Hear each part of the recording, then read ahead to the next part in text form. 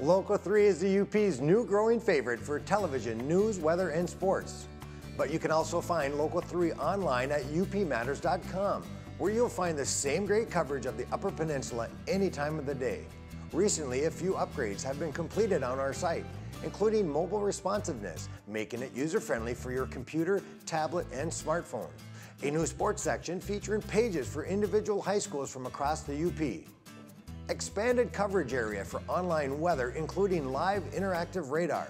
Digital Life 365, a new content area containing daily articles on a variety of topics from health to style to personal finance. And our new interactive section, Share It, where you can share your photos and videos with Local 3 and other viewers. I encourage you to check us out online at upmatters.com where you'll find Upper Peninsula's news, latest weather, and local sports delivered with the same professional quality you see on Local 3 at 6 and 11.